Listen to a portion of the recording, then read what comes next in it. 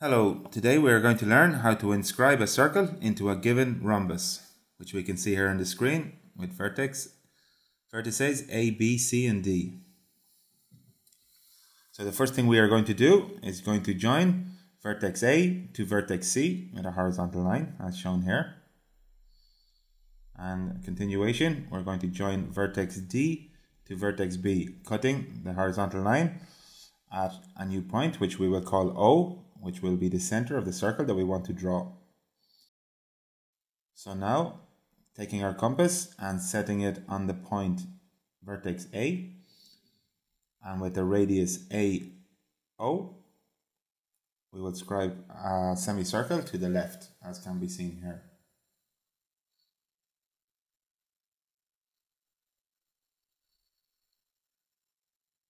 So now, setting our compass on vertex B, and setting the compass to the radius BO. We scribe another arc to the left, intersecting our previously drawn arc at a new point, which we will call P. And now to continue with a ruler, we will join point P to point O, intersecting the side of the rhombus AB at a new point, a new tangent point, which we will call T. This line is perpendicular to O.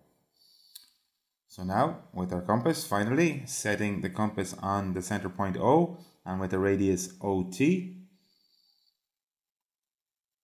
we draw the circle in a thicker line, as can be seen here. So here you have a circle inscribed in a given rhombus. I hope this video has helped you.